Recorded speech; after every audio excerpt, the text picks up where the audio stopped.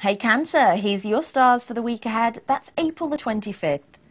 You could be shedding the rather reserved and serious attitude you've recently had when a swinging social opportunity will delight you.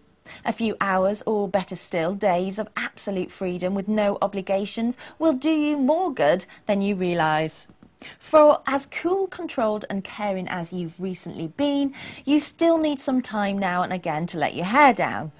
Weekend events will bring some unexpectedly pleasant surprises.